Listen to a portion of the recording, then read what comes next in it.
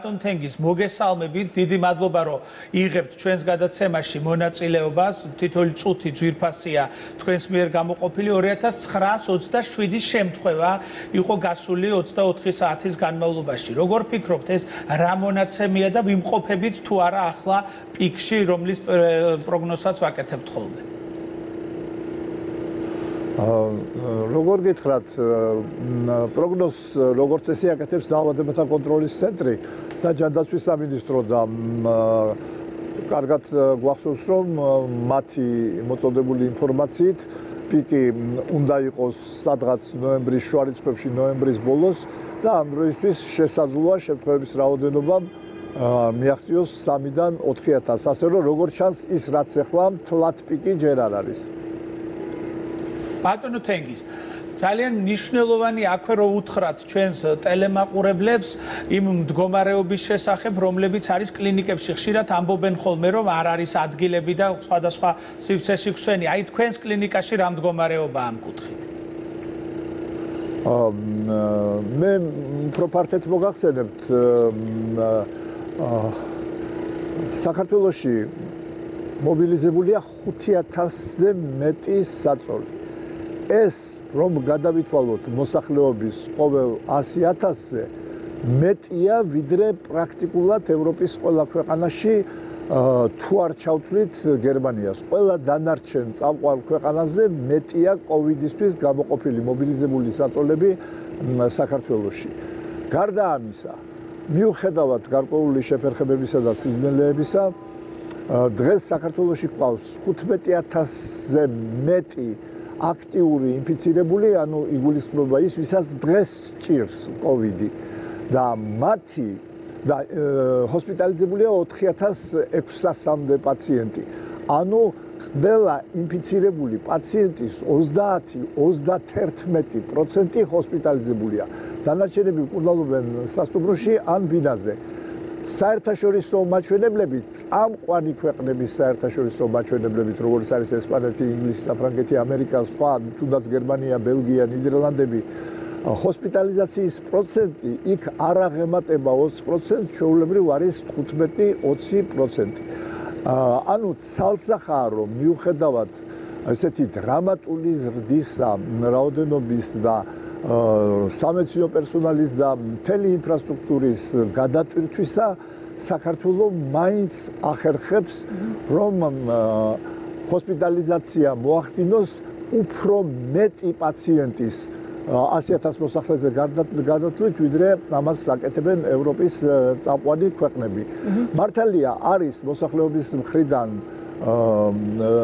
საჭივრები წუხილი ხშირად სამართლიანი ზოგჯერ გადაჭარბებული რომ ისინი დიდხანს ელოდებიან ტესტის აღებას, ტესტის პასუხს, იგვიანებს სასწრაფო ჭირს დაკავშირება ოჯახის ექიმთან, ჰოსპიტალში, როდესაც გადაწყდება პაციენტის ჰოსპიტალიზაცია, ყისიერად არ არის ადგილი, ეს ყველაფერი სამწუხაროდ არის, მაგრამ ეს გარდაუვალია იმ პირობებში, როდესაც ხდება ძალიან დრამატული მატება შემთხვევების და ამ პანდემიას ვერ უკლავდება მთელი სოფლიო ვერავინ.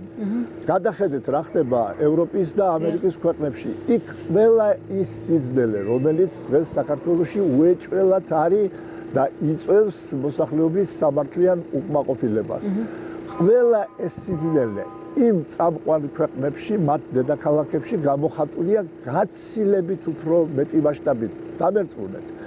თუ არ გჯერავთ, შეგიძლიათ დაეკითხოთ თქვენს ჩვენს თანამემამულეებს, რომლებიც ცხოვრობენ საფრანგეთში, ამერიკაში, ესპანეთში, სხვაგან და ისინი დაგიდასტურებენ, რომ ის რაც საქართველოსია ზოგიერთი მათგანისთვის ამ წამყვანი ქვეყნებისთვის მიუღწეველია და საოცრებო ასე რომ რა ვქნათ ასიან აა საქართველოს ხელისუფლება ჯანდაცვის სამინისტრო ექიმები ყველაფერს აკეთებენ რომ ასე არ იყოს უამრავი რეორგანიზაცია და რეფორმა განხორციელდა მარტო ბოლო კვირეებში უამრავი რესურსი დაემატა როგორც სასწრაფო დახმარების სამსახურს, ისე ოჯახის ექიმის სამსახურს, ონლაინ კლინიკებს. აი ზუსტად ამაზე უნდა გითხოთ ბატონ თენგიზ. გამოთავისუფლდა, გაუთავებლად ტარდება მუდმივ რეჟიმში ტრეინინგები, ექიმების მომზადება, გადამზადება და ყველაფერი ეს უზრუნველყოფს იმას, რომ გადაძაბვით, მაგრამ მაინც არავინ არ რჩება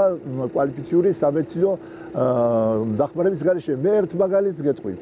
ინგლისში, სოფლიოს ერთ-ერთ ყველაზე განვითარებულ ქვეყანაში, მათივე ხელისუფალთა ოფიციალური ცნობით 45000 კაცი ყავთ გარდაცვლილი და აქედან ყოველი მეათე, ანუ 4000-ზე მეტი ადამიანი გარდაეცვალათ ისე რომ ვერ მოხერხდა მათი ჰოსპიტალიზაცია ბინაზე, ჰოსპიტალს გარეთ. საქართველოში ასეთი შემთხვევები საუბედუროთ არის, მაგრამ საბედნიეროდ ერთეული მხოლოდ. ჩვენ ჩვენი მასშტაბიდან გამომდინარე გვაინტერესებს რა თქმა უნდა ეს საკითხი. მასშტაბი როგორ გითხრათ იცით ინგლისი ჩვენზე 10 ჯერ 15 ჯერ მეტია. 6 ადამიანი გარდაიცვალა ჩვენთან. ანუ ინგლისის მასშტაბით მოსახლეობის ერთეულზე რო გავაბრალოთ 90 ჩვენთან 90 კაცი წარმოიდგინეთ ინგლისის მოსახლეობა რო ყავდეს. და იქ 4000 კაცი. ეხლა შევადაროთ ამას და ვიყოთ რეალისტები საქართველოს მარტივ განვითარებადი ქვეყანა, მისი რესურსი განუზომლად უფრო მცირეა ვიდრე ევროპის წამყვანი ქვეყნების. და ამ პირობებში ის ახერხებს სრული პასუხისგებლობით ვიტყვი დიახ, გასაგებია ბატონ თენგის, აი ზუსტად ეს უნდა კითხოთ. მოსულობის სამეცნიერო მომსახურებას. ჩვენი მეტპერსონალის ადამიანური რესურსის შესახებ უნდა კითხოთ. იმ შემთხვევაში თუ მონაცემები ავა 3 და 4000-ზე, როგორც თქვენ თქვით ახლა რამდენიმე წუთის წინ, რამდენად გვეყოფა სამედიცინო პერსონალის რესურსი და თან ძალიან მნიშვნელოვანია ისიც, რომ მათი დაინფიცირების რაოდენობაც სამწუხაროდ იზრდება. ჩაულებრივ პაციენტებთან ერთად აი ამ ხრივ რას გვიპასუხებთ? უნდა სწორი სწორი ინფორმაცია გქონდეს მოსახლეობას. კი, სამედიცინო პერსონალი ინფიცირდება ჯერ ერთი, იმიტომ რომ ისინი მუშაობენ ავადმყოფებთან და მეორე ყოფაც საყოფაცხოვრებო პირობებში. მე რამდენიც ვიცი, სამედიცინო პერსონალის ნახევარი მაინც დაინფიცირდა არა საკუთარ კლინიკებში, არამედ საყოფაცხოვრებო პირობებში. აქაც შეადარეთ. სოფლიოში ითვლება, რომ ყველა ინფიცირებულის 20%-ამდე არის სამედიცინო მუშაკი. ჩვენთან ეს არაცდენია 10%, 7-8% ამ მოდის მხოლოდ სამეცნიერო მუშაკებზე. ეხლა რამდენად ეყოფა თუ შემთხვევების რაოდენობა გაიზრდება 4000-მდე?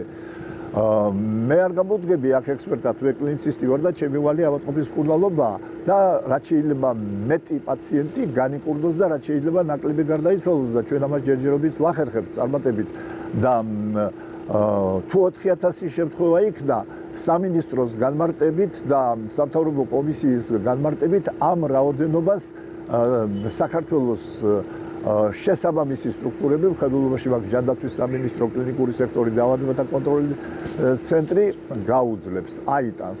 მაგრამ ეხლა თუ რაღაც უსასრულო ზრდა იქნა მაშინ რა თქმა უნდა ვერ აიტანს. ალბათ თქვენ მე ძალიან მომწონს და მინდა შეგახსენოთ პატაიმნაძის განცხადება რომ იცით თუ ესე უსასრულოდ გაგრძელდება ზრდა და არ დავიცავთ არანაირ რეგულაციებსო მაშინ მთელი გერმანიის საწოლ ფონდი რო ჩამოიტანოთ საქართველოში თავისი ექიმებით მაინც არ ეყოფაო.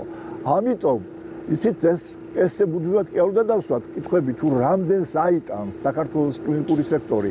არამედ როგორმე არ მოუწყოთ ასეთი გამოცდა კლინიკურ სექტორს და შევეცადოთ ყველანაირად ეს იქნება ხელისუფლება ჯანდაცვის სამინისტრო თუ მოქალაქეები რომ როგორმე ეს დრამატული ზრდა შეწყდეს და ამისთვის არსებობს ორი გზა.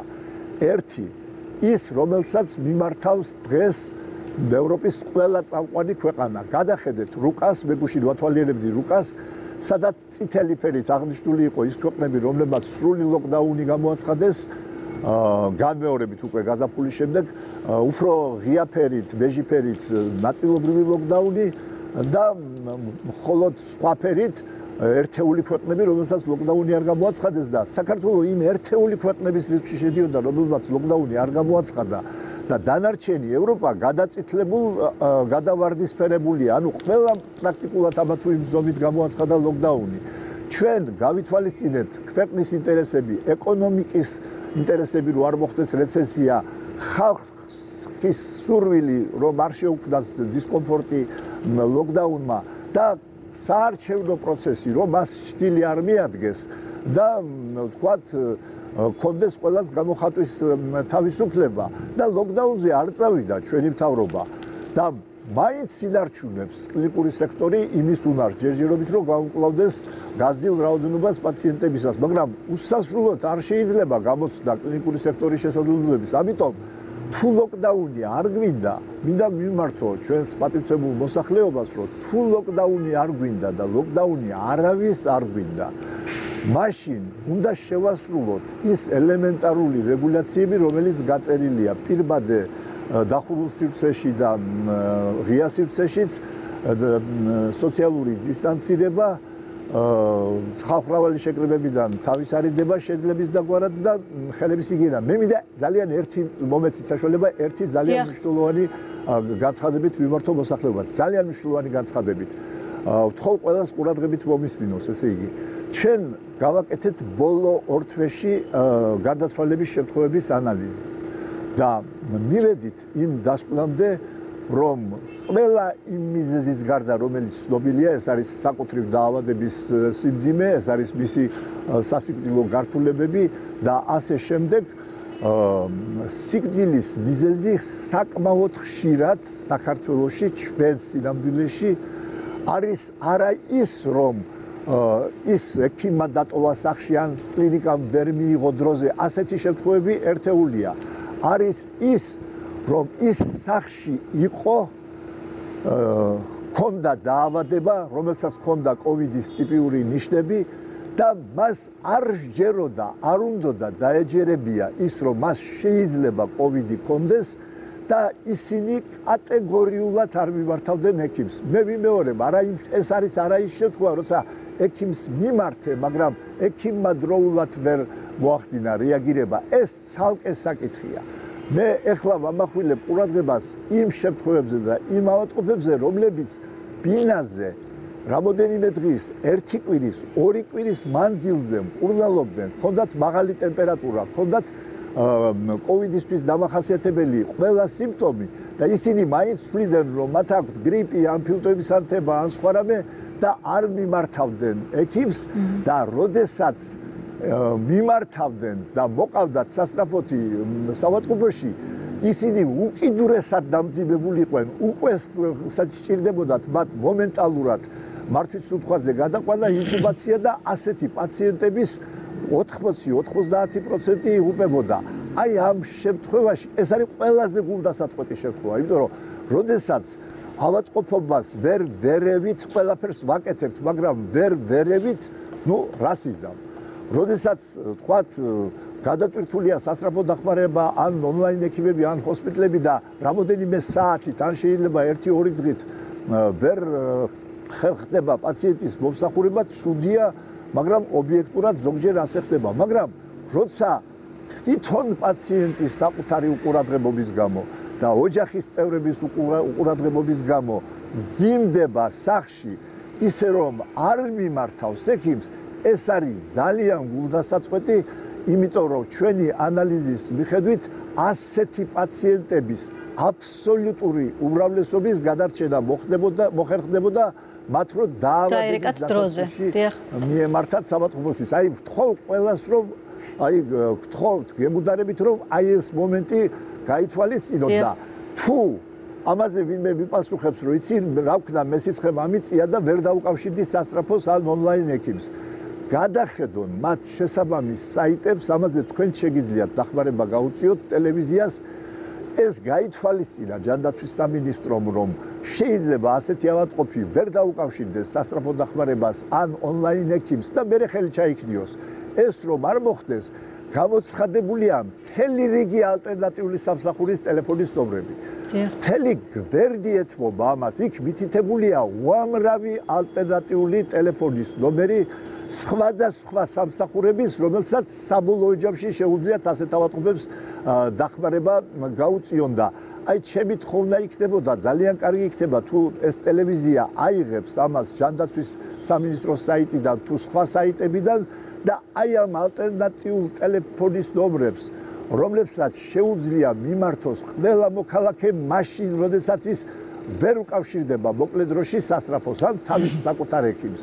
აი ეს ტელეფონის ნომრები გავაცნოთ, რომ მათ გქონდეთ საშუალება მიმართონ ამ ალტერნატიულ თქვა ტელეფონის ნომრებს და ალტერნატიულ სამსახურებს, რაც არც ერთი სიცხეანი ავადმყოფი არ დარჩეს სახში ექიმის ნებართვის გარეშე.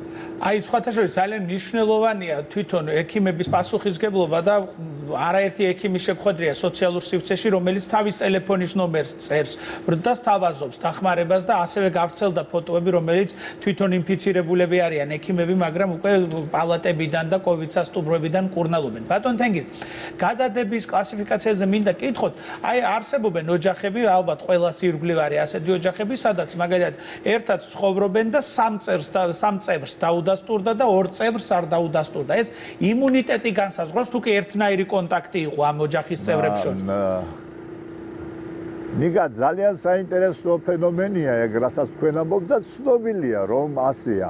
არაერთის მე მგონია თქვენ ეთერშიც მithქვამს რომ პანდემიის დასაწყისში მე ვარ ცოცხალი მოწმე როცა ჩვენთან ორ სხვადასხვა პალატაში ცხოვრობდნენ ახალგაზრდა ცოლქმარი და რელიგიური მორწმუნეები მეორე პალატაში. ამ ორი ადამიანიდან ახალგაზრდა ქალს ცოლს ჰქონდა კოვიდი, ქმარმა ის არ დატოვა, ну ბუნებრივია რა ინდული თქვათ მოსაზრებებით მეუღლე არ მიატოვა, დარჩა მასთან სამი კვირა ცხოვრობდნენ ერთ პალატაში, უმჭიდროეს კონტაქტში და ქმარს არ დაემართა. ასევე იმ რელიგიური მორწმუნეებიდან ერთს ჰქონდა და მეორეს არ დაემართა. ასეთი შემთხვევები არის და ისიც რაც თქვენ ძალეთ იმუნიტეტის თქვათ კარგი იმუნიტეტის გამოხდება ეს ამაზე ეს ცოტა ესეთი პროფესიული საკითხია და ღრმა ანალიზი ეხლა არ ღირს. რამოდენიმე მოსაზრება არსებობს, ერთ-ერთი რა თქმა უნდა თანდაყოლილი იმუნიტეტი, როდესაც ამათუ ამათუ იმ პიროვნების ორგანიზმის დაცვითი ძალები უზრუნველყოფენ რომ მას ეს ინფექცია არ დაემართოს. არის ესეც ერთ-ერთი თქვათ არის ამის ახსნა, თუმცა არის სხვა ახსნებიც. ძალიან დიდი მადლობა. ბატონო თენგიზ რომ გამონახეთ დრო იყავით ჩვენთან ერთად და მართლა მნიშვნელოვანია თქვენი თითოეული სიტყვა სამწუხაროდ დრო არ გვაქვს თუმცა ეს რჩევები რომელიც ახლა თქვენ მოგვეცით და ეს ინფორმაცია ძალიან მნიშვნელოვანია. ბატონ თენგიზ ცერცვაძე გვერდებოდა ახლა პირდაპირ ეთერში რომელსაც დავემშვიდობებით ჩვენ და კიდევ ერთხელ მადლობას გადაუხდით